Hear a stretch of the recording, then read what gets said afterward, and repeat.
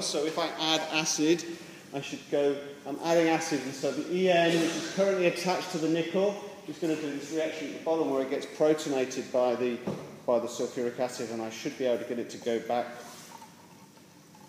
to light blue, to blue, to bluey green,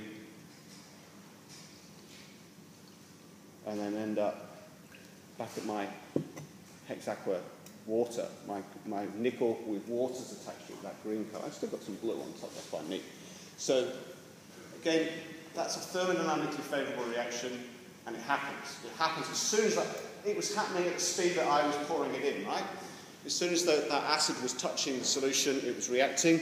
This is the cobalt equivalent. The cobalt one is also thermodynamically, it should do the same thing. The thermodynamically favourable reaction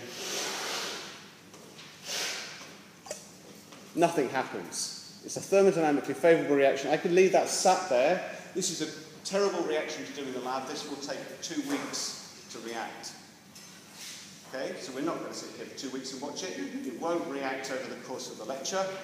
It's a thermodynamically favourable reaction. It just takes ages and ages and ages and ages and ages because the cobalt hangs on to the EN so tightly that even though it wants to go this way, cobalt is just holding on too tightly.